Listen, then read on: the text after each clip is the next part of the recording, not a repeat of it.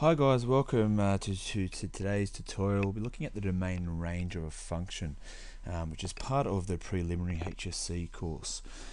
Um, domain and range, okay, can be quite a difficult concept um, to think about. Not worth um, too many marks in the HSC, but definitely uh, something to think about. Okay, I'm just going to draw an axis here and look very, very briefly, and then look at um, GeoGebra a bit more in depth at what range and and domain actually refer to. So I'm just going to look at the graph of y equals x. Okay, so the domain. Okay, first of all, the domain looks at all possible x values, all possible x values of a given graph or a given function. Remember, a function is a graph. Okay. Um, Whereas the range looks at all the possible y values, so all possible y values of that same function, or that same graph. Alright, so what does that mean in layman's terms? Well, let's say for example, again this won't be to scale, but let's say we're going to go here to negative 1 and I say, okay, is there a coordinate on y equals x that exists at the point x equals negative 1? So I go negative 1, go all the way down to my graph, and look at that. There is a coordinate there that is in my graph. If I look at negative 100, for example, again, I know it's not the scale, but I go all the way down to my graph, although it's not the scale, yes, there is a coordinate that's going to lie on. What about at 0? Yep, there's one at 0, 0.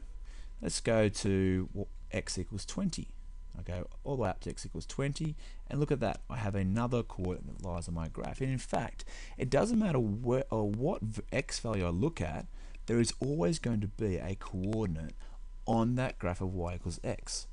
So when I ask I'm asking about the domain and what the domain is of this graph y equals x I would say that it is all real x or all real x values because it doesn't matter where I put my x coordinate, I could go up to a billion. And was, I had to go up a pretty fair way, but there would be a coordinate on that graph of y equals x at that x coordinate. Likewise, if I look at all my y coordinates, for example, y equals 10, if I looked all the way across at y equals 10, yep, there's a coordinate on the graph y equals x. If I look at y equals 0, well, we already know it goes 0, 0, so that lies on that graph. If I go down to negative, you know, 200, go all the way across, let look at that, there's going to be a coordinate that lies on my line. Now, obviously, I haven't used the correct scales there, but it sort of shows you that no matter how far up and y I go or how far down and y I go, if I go across, I can always find a coordinate at that y value. Therefore, I could have all real y values or all real y. So again, the domain looks at all the possible x values of a particular graph or a particular function, and the range looks at all the possible y values of that same function. Now, it's probably easy to look at some other graphs uh, where it won't be all real x values or won't be all real y values, which means that there might be some coordinates at y or x where they don't actually, or there's no possible value on that graph. So I'm going to quickly look at a pre-drawn graph I've got here of y equals x squared. Okay, so that's a coordinate that goes on my y equals x squared, and I've used a, a, a relatively large scale, so negative, so 40 up to positive 40, etc. So these are my x values on my x-axis. So although you can't see it all on that graph, okay, if I look at um, at all my negative values, so this is going to be at, at the moment that's at about x equals negative 5.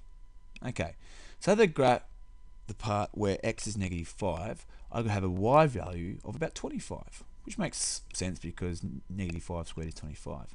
If I go out to negative 10, although it's hard to see because it's going to go off the graph, that it, there is going to be a coordinate at x equals negative 10 because it will be y equals 100. Likewise, if I go to 0, at y at x equals 0, y also equals 0, so that, that coordinate exists. Now if I go up to x equals, you know, let's say that's 5, so x equals 5, about, there, then y equals positive 25, if I go x equals 10, all the way up, it goes off the, off the actual screen there, it would exist. So it doesn't matter how far up I go, okay, which means I'm increasing, decreasing my x values, or I'm increasing my x values, there are possible x coordinates there.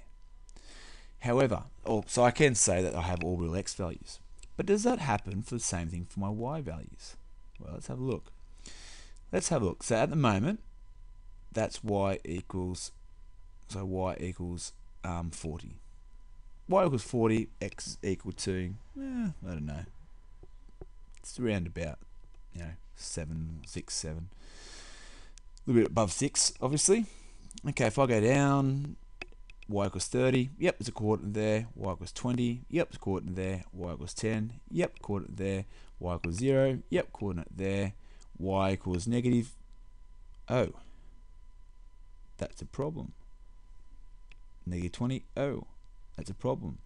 There are no possible y values less than 0 because what happens as it gets to 0? It starts to go back up again. So my y values are no longer all real y values because my y values only actually occur for numbers that values that are above zero, or zero of course. Okay, so what we can say, I guess, for a parabola. Okay, so a parabola, um, y is equal to x squared.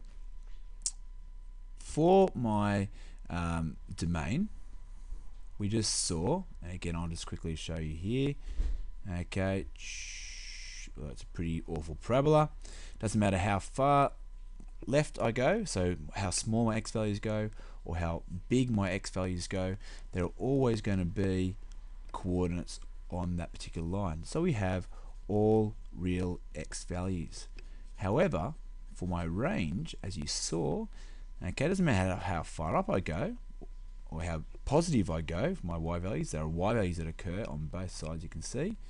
However, if I go less than 0, there are no coordinates there. It doesn't exist. So my range values are y is greater than or equal to 0. Okay, which makes sense as well because you know if I'm putting an x value in here where the graph is, because I'm squaring it, we know that the y value will always be positive. It's not possible to have a negative y value when you're squaring something because, you know, negative 4 times negative 4 equals positive 16. It's positive. You know, um, 3 times 3 is 9. It's positive. Okay, so you can sort of see there that I can have any x value there, it's possible, but my y values need to be... Anyway, so we get the drift with our parabola so there are a couple of different graphs that work that way. Okay, we might look at the function, um, function of x or y is equal to, we'll do a hyperbola, 1 over x. Okay, you might recognize, you know, when you try and do your hyperbola, you used to sit there, put in a table of values. You know, you'd have your um, your x and y, and you you know put in your negative two, negative one, zero, one, and two. And you might remember, because this is another way to look at it in order to have not having drawn the graph, but we'll look at the graph anyway. That you know, I put my x values in, so negative two, I get negative one on four. Um, negative one, one over negative one is negative one. Um, one over one is one. One over two is a half, and they kind of reflect each other, sort of.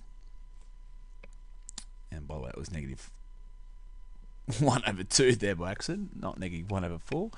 Um, so it's negative a half, negative 1. And you might recognize that when you put 0 into that equation, 1 divided by 0, it comes up with error. You cannot do it. You cannot calculate. You cannot divide something by 0. It is undefined mathematically.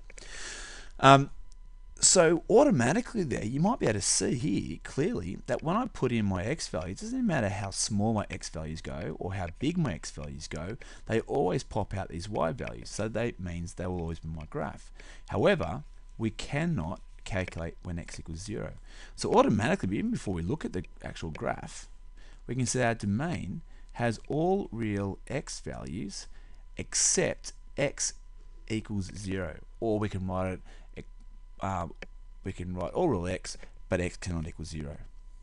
Likewise, if you look at all my y values, negative 1, negative a half, negative a third, negative a quarter, etc., 1, half, a third, a quarter, doesn't matter how my y values go, small they are or how big they go, they always lie on, on somewhere on that graph, that hyperbola, except also y equals 0.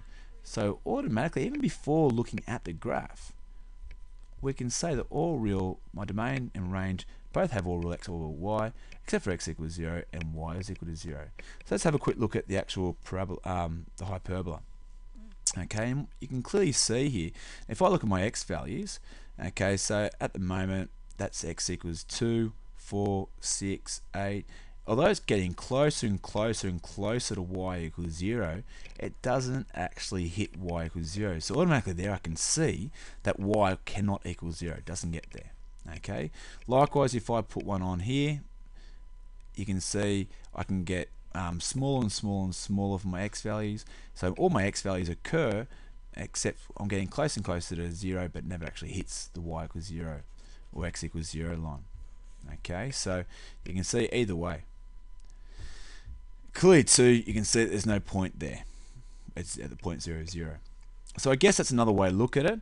Um, and I, I guess um, one thing you notice whenever you see an x on the bottom, that we know that there it won't be all real x or real y. There will be situation.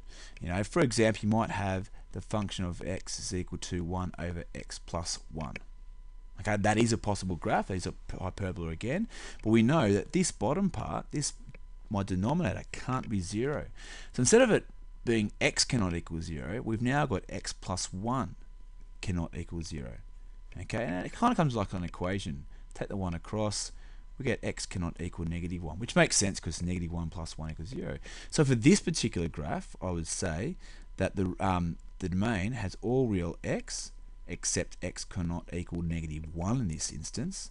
It also be all real y, however, y still cannot equal 0. Okay, still cannot equal 0. Um, and you can see that. We might draw that one here. So uh, 1 over um, x plus 1.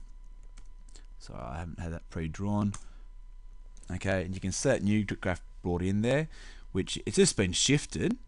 Okay, as you can see there um, to, to, to the left. But if I look at it there, okay, you can see this time I can have a zero okay um, a zero for my uh, x for my x value okay but it's my negative one that it can't be so it's sort of sitting in here somewhere alright so look it's uh, it's kind of like an equation. It's a bit more challenging to see in that one. Um, so that's the next instance and I'd say the other one you have to be worried about is like this. Y is equal to the square root of x. And you might say why have I chosen that one? Well clearly um, if I put in an x value of x equals, let's say 4, y equals square root of 4, y is equal to 2, okay, we've got an x and y coordinate. If I put in x equals um, 0, y is equal to square root of 0, okay, pops out a y coordinate of y equals 0, got a coordinate. x equals negative 4, however, I'll put in y equals the square root of negative 4, alarm bells, okay, error, we cannot do it which means it's not possible. And if I quickly have a look at the graph there, um, I'll show you this one here. This is the graph of y is equal to um, the square root of x plus 3. So not quite square root of x, but slightly different. Okay, you can see uh, that my y values there can never be negative. Okay, in this particular instance, my x values in this case will be shifted because it's plus 3, so it can't go less than minus 3 okay which again so that might be a bit, bit more confusing um, but again what that graph will look like for y equals square root of x it will look like this. Kind of like that last one I showed you but they'll be at zero. And it shows you here that my x values always need to be positive.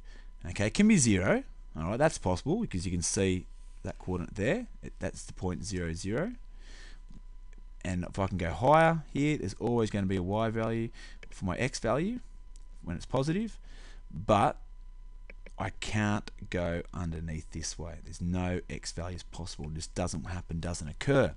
So for this particular graph, we've got all real x. Actually, no, sorry, no, we don't. We have x must be greater than or equal to 0, and we have y must be greater than or equal to 0. Okay, because that obviously can't be a negative, as you can see there. Nothing there exists, nothing there exists. So the only thing that, that exists when is x is greater than or equal to 0, or y is greater than or equal to 0. Okay, um, look, I've tried to rush the end, so I, I, do need to um, finish up. Um, but basically, look, the, the, when you're looking at domain and range, there's a couple of things I say you should be careful of. Oops, domain range is this. Okay, number one and number two. Okay, if you see a hyperbola,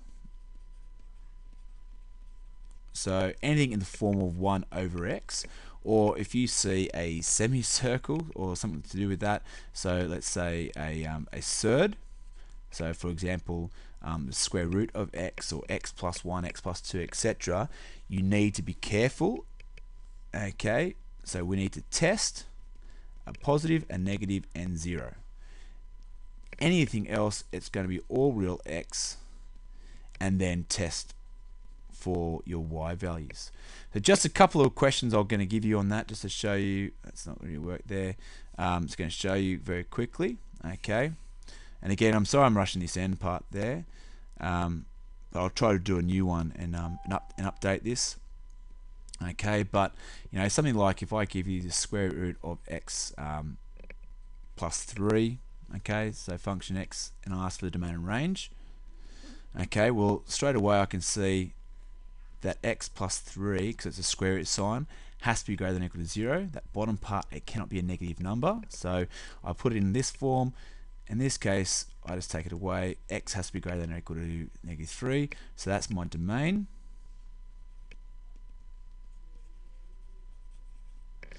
Okay. But my range will still be y is greater than or equal to 0. Okay, because obviously this has to be positive. Still got to work that way. Um, if I have fx is equal to square root, sorry, not square root, we'll do 1 over um, x plus 5.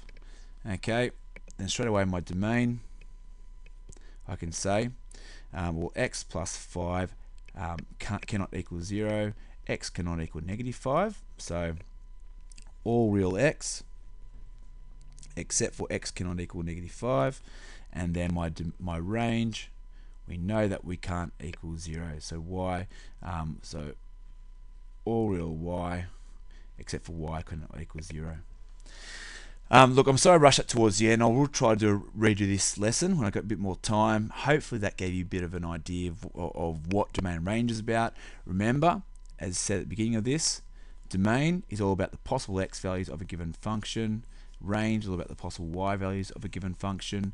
Just be careful of surd forms and fractions where x is on the denominator. Okay, those two, it won't be all real x for domain, you'll have to test.